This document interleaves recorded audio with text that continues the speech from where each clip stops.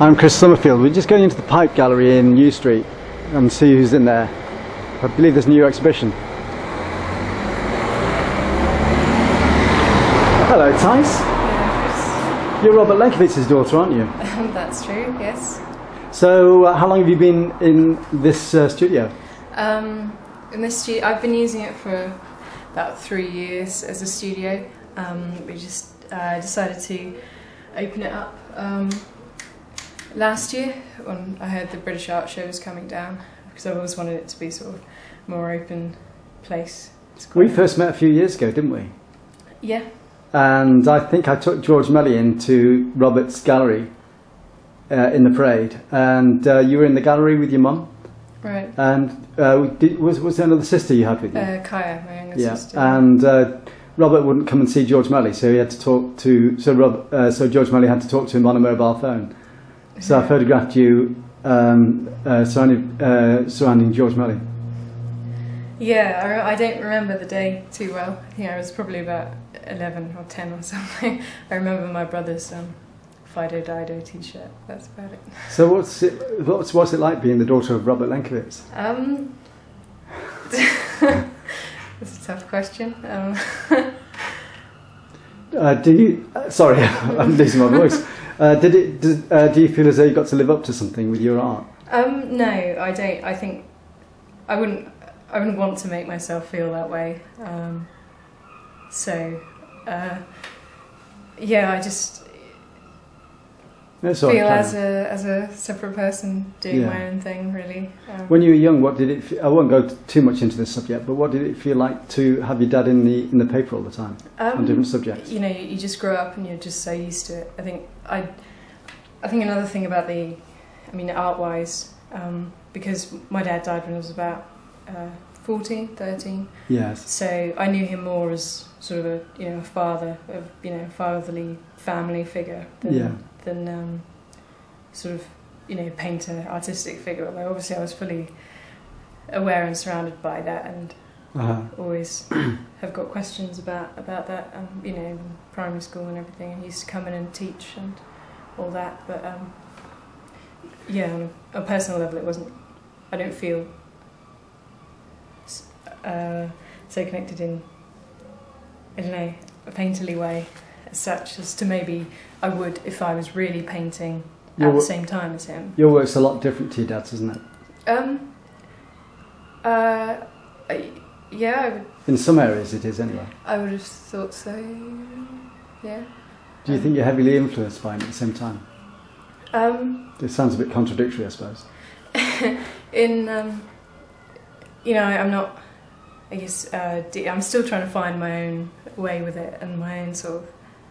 Um, but yeah, obviously, certainly the, subjects I'm exploring, you know, completely. Well, some people spend a lifetime trying to find a Um, way, don't they? Yeah, yeah, exactly. You're always you're always practicing and always.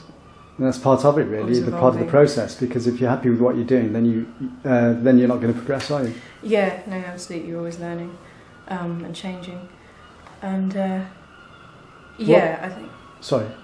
um, influenced in a, in a sense that I suppose I, I got you know a couple of lessons off him, although I didn't really make it to uh, to colour. Um, yeah. But I got, I guess, a, some kind of base of, of technique because he had a really fantastic way of teaching um, Yeah. to paint. So I guess I sort of have taken that in a way, although. You studied art at college as well, haven't you? How, uh, just was it just the College of Art and Design, or have you been to other places as well? Uh, no, just just that place. Yeah. How many years did you do there? Um, That's the Plymouth College of Art. I did a foundation diploma course and then fine art for Ah. three years. Um, So, uh, who inspires you with your work? um, it's kind of hard to say. Um, it's, it's yeah, too many, so many people, I think, Yeah. and then nothing directly. You like the contemporary artists, don't you? Um, I like yeah, all, all sorts. And you seem to experiment uh, in a in a cross range of materials. yeah, I enjoy working and yeah, exploring new materials. I really like just using um, different things. I, I always I always paint, but I've also I've always been drawn to sort of sculpture and three dimensional. At what Um, age work. did you start taking an interest in art? Um, I've always done it really. I've always, you know, as long as I can remember, I've always painted and, and drawn. And um, that was encouraged. I guess both my parents were painters, so they, they Yeah. obviously encouraged that. quite a lot. Genetics. But um, uh, I didn't really properly start painting, I suppose, until I was about 16 when um, my mum bought some of my dad's canvases at, um, at an auction. Ah. And um, she got a lot more than she expected. She'd only wanted smaller ones, so she gave me all the large, massive canvases, and I just started playing around with those really. How many exhibitions have you had here?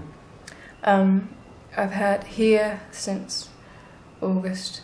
I think we've had four so far, and after me, I'm on now. There's one more to come, which is um, a group called U1. Yes. And they're going to be in your studio, are they? Um, yeah, they're going to be showing back there um, up until 9th of December. Uh-huh. And how can people contact you? Um, there's a website. I've got a website, which is my name, and um, uh, and then there's uh, a website for the studio, which is thisisapipe.co.uk. Uh-huh. Have you got an exhibition on at the moment? Yeah. Can you just quickly show us around? Um, I can show you around, but we're actually having lighting difficulties again. Uh-huh. Well, hopefully you the camera will be able to excuse the handle it. darkness. But it's a bit of cave in the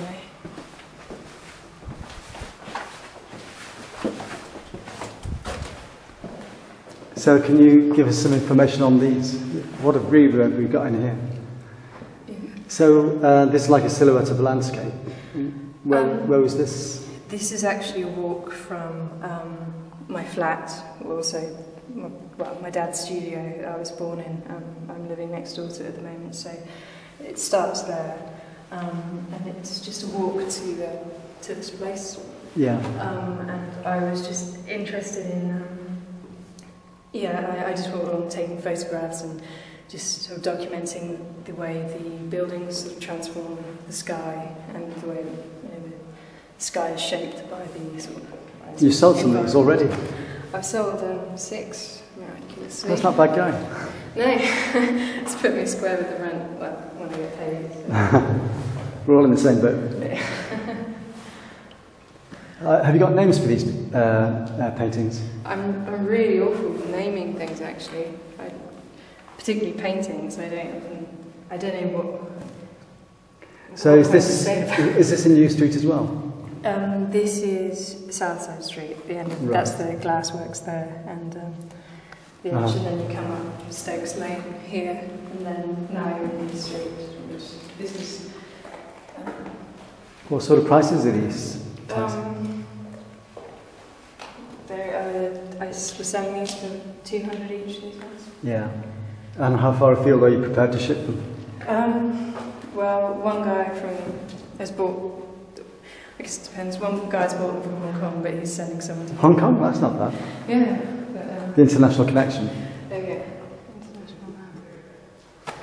So yeah, you're in New Street now, and this is directly up, up on the doorstep of here. I'd like to take sort of different walks and very different cities or environments and landscapes, and Yeah. do the same thing. Why is the exhibition called The Pipe? Um, that's the studio. It's called the Pipe. Oh, I see, And, right, um, yes. I've, I've not uh, uh, done any research before I came in, so it's totally off the cuff. Sorry about that. It's okay.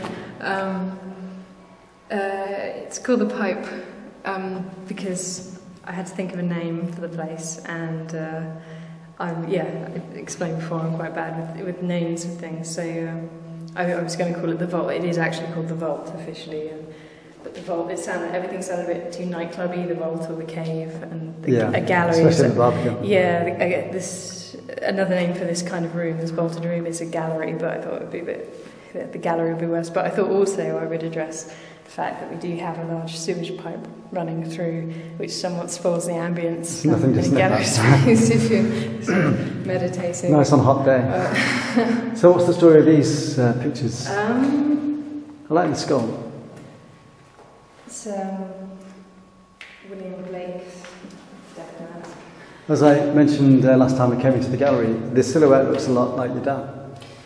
Yeah, um, yeah, I keep getting asked if it's my mum or my dad for some reason. But yeah, it's me in, um, And uh, And what's the value of this one? Um, 500? Uh-huh. Can we go on to the next one? It's my, um, my parrot. Uh-huh. Is it a deceased parrot? It is no, more. no. He's very much alive, despite some. Maybe you taught him to swear. No, Has anybody else taught him to swear? Yeah, no, it's amazing. He only picks up what he really wants to know. So. Uh-huh. There's a lot of humour in this one. What's this? What's this all about? Um, they're all sort of about the same thing, really, sort of the ideas of absence and presence and um, coming from this memento mori kind of theme that I was um, exploring with plaster a bit last year and um, a lot of things like that. Uh-huh. So, what projects are you working on next?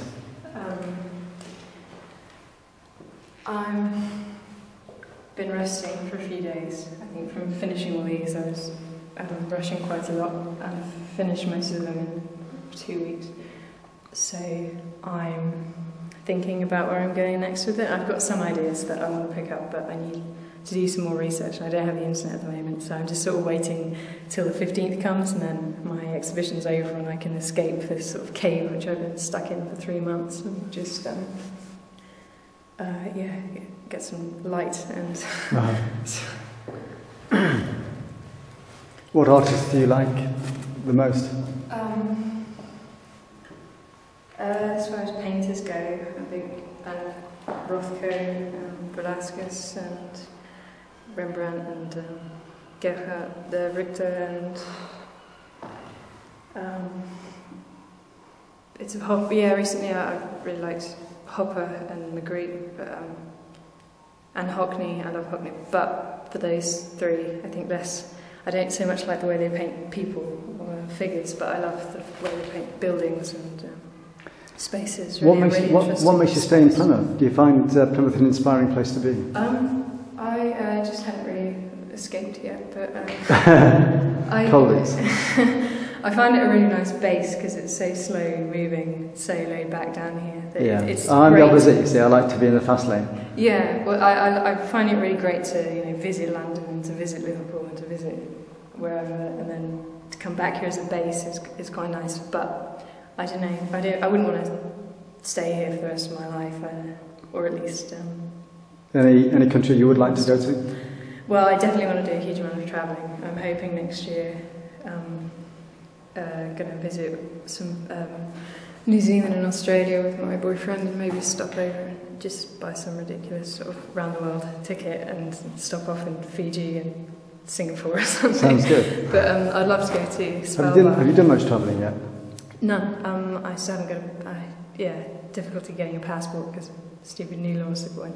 But um, I should have one soon. And um, probably, yeah, I'd love to go to cold north, really, Norway, Uh-huh. Svalbard, maybe go. I'd lo- love to see the Northern Lights. Yeah, yeah, that would be It's tremendous. interesting. I've actually Yeah. seen that sort of uh, phenomena down in the south of France, actually. It sounds a strange place to see it, but when you see the, the lights bouncing off the atmosphere, it's absolutely stunning to, Yeah. to see. Yeah, well, apparently next year, 2012, it's going to be um, the best it's been in 50 years. Apparently, Uh-huh. 50 years ago, you could see it in Mexico. It's an Olympic special, is it? Yeah, I guess so. Right, thanks a lot, Thais. I hope to interview you again sometime. Thank you.